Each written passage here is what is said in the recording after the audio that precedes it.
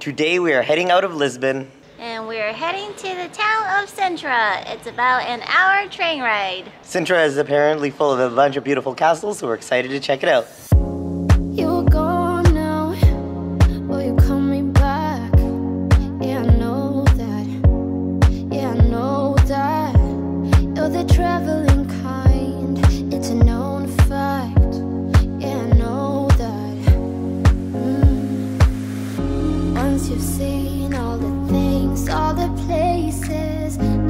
We've made it to Sintra, and now we are just gonna head onto the bus. It's very busy on the bus. world, all the spaces inside your heart.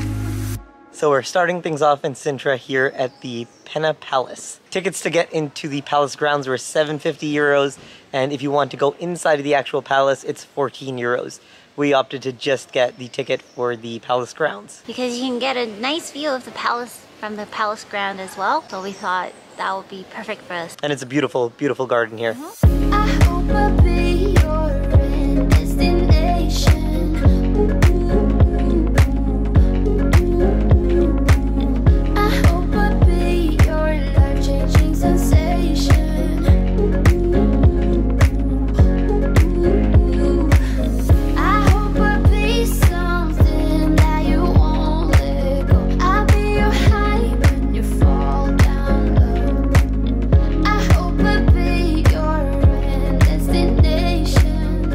palace was super cool, and now we are just gonna check out the rest of the palace grounds.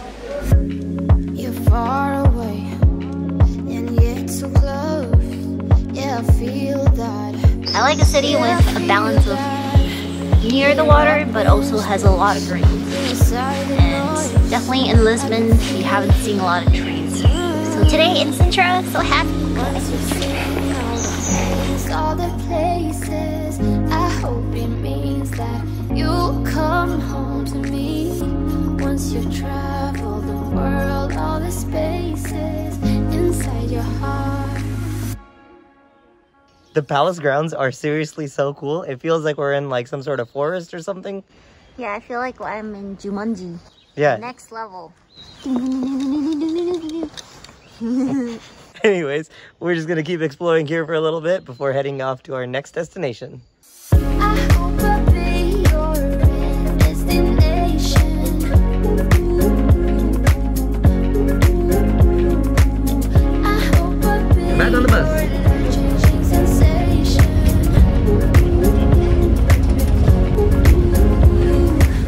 We are back down by the train station, and now we are just gonna head into the main town area find some food.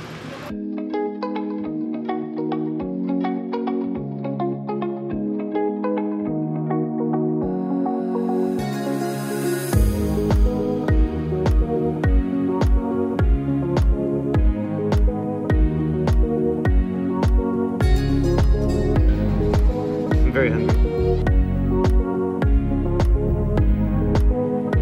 Always be sanitizing.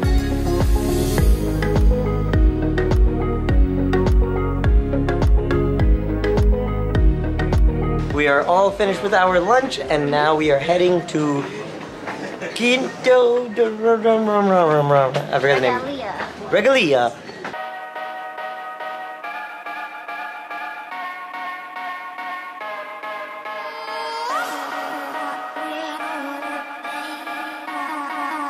We have made it to Quinta da Regaleira, which is like a giant mansion made in the 16th century by some very rich dude.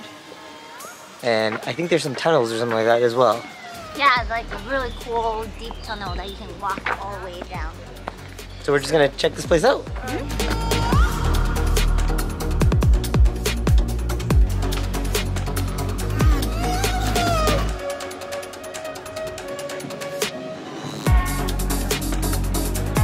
So for those of you that have played Super Mario Land 2, the six golden coins, this castle looks very similar. I think Wario lives inside of there. Only explanation.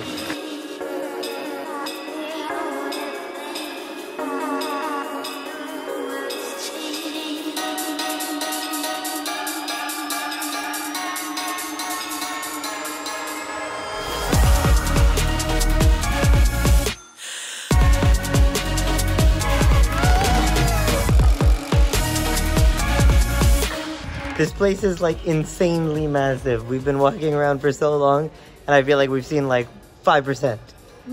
and everywhere you look, there is an amazing view from up here.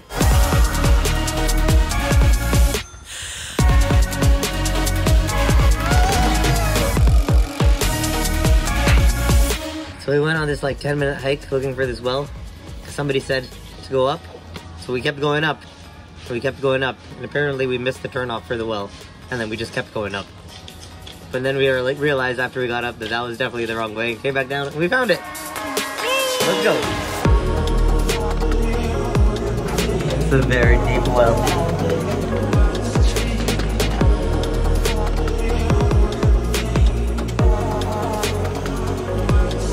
We made it down the well and now we are in the cave. These caves are so cool.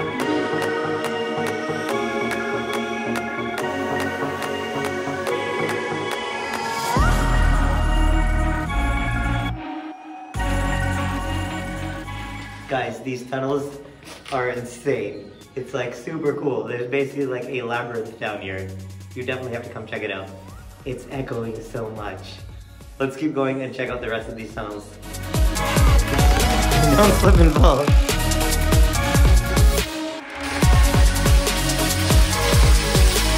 The caves were so cool, but it was so dark inside, so I don't know how well it like translated onto video or if any of it is usable at all, but just know that the caves here at Quinta da Regaleira, Regalia. Regalia are really cool. Like just so cool. And now I think we are gonna just head out of here mm-hmm. and head back to the train station to head back to Lisbon.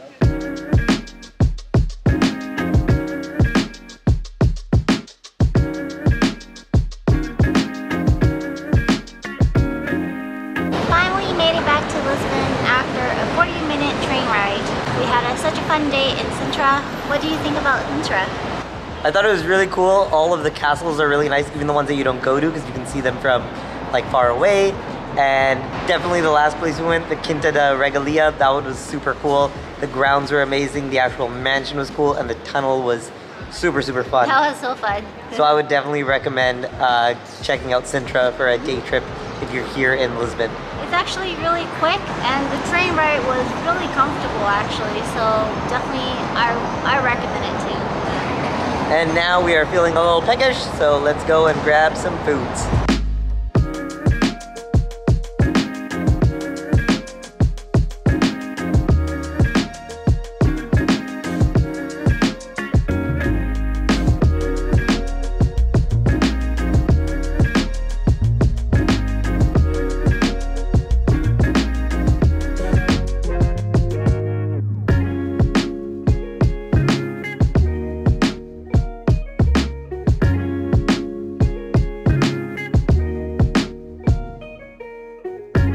That was the perfect way to end our day. The bifanas were super, super good, and the price was pretty sweet. It was like 16.20 for two meals and our drinks, so really, really cheap. And now we are gonna head back to our Airbnb and call it an early night because we have a super early day tomorrow. We gotta get up at around 4 a.m. to head to the airport because we're heading to Madrid. Make sure you guys subscribe to the channel if you haven't already so you can follow us on our adventures in Madrid. See you guys there.